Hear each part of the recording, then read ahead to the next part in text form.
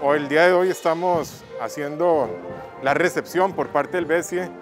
de estos fondos, son 600 mil dólares, eh, para hacer todos los estudios requeridos para el tratamiento sanitario de la ciudad de Liberia. Eh, nosotros empezamos en este mismo año, en el segundo semestre, a ejecutar esos fondos eh, y esto nos va a permitir seguir con un ciclo eh, de infraestructura fundamental para Liberia, que es una de las ciudades intermedias con mayor crecimiento del país.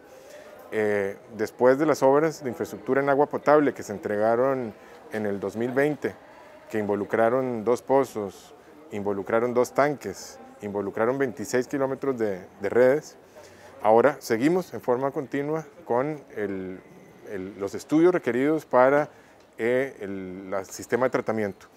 Eh, esos estudios nos van a permitir gestionar el financiamiento,